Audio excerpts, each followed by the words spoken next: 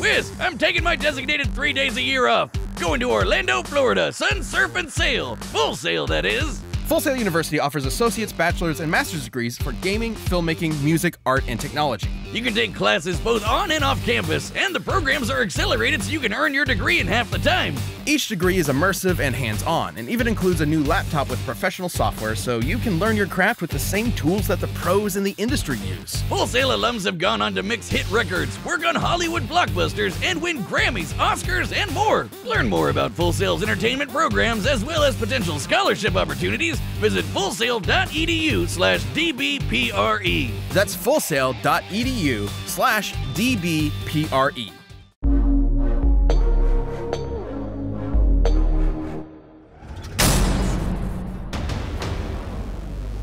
That's right, he's back. In case you're one of the many psycho supervillains stalking the streets of Gotham City, I would make peace with whatever god you pray to, because they won't save you from the goddamn Batman. But before he dressed like a giant rodent and employed little boys in booty shorts as meat shields, he was Bruce Wayne, scion of the multi billion dollar company Wayne Enterprises. Until Mommy and Daddy got 360 no scope, leaving Bruce with a void inside him that could only be filled by the never ending quest for justice and vengeance. That night, Bruce Wayne died and the Batman was born. He would devote his life to perfecting his body and mind to become more than human. He would transcend his own mortality into legend, a nightmare to haunt evildoers till the end of time. Jesus Christ! I feel like Zoloft and therapy would work too, but okay, whatever works. Batman's resume is absurd. He's mastered 127 martial arts, trained in stealth and assassination, and is a super genius with a photographic memory. He's the world's greatest detective, bar none. Like how the League of Shadows needs to keep erasing Batman's memories because he keeps finding their secret bases. Or the time he found a dead body with no entry or exit wound and a 40 year old bullet nearby, and somehow determined it must have been fired backwards in time.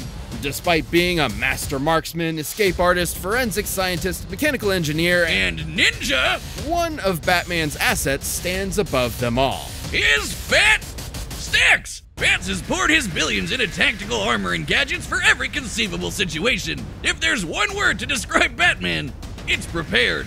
Made of reinforced Kevlar and titanium, his batsuit can resist knives and gunfire, and even protected him from this massive explosion. Judging by the size of the detonation, Batman's distance from the epicenter, and the surface area of his body, he must have withstood a blast of nearly 60 tons of TNT.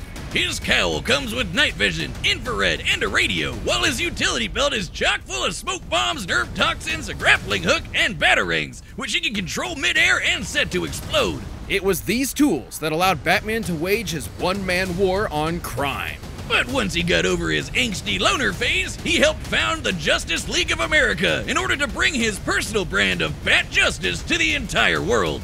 Yeah, I can relate to the tragedy of a misunderstood savior that just wants to use his amazing technology to make the world a better place. Yeah, does that include that robot army you built that tried to overthrow the UN? So I had some kinks to work out. All it takes is a little destroy all humans and the bureaucrats go running.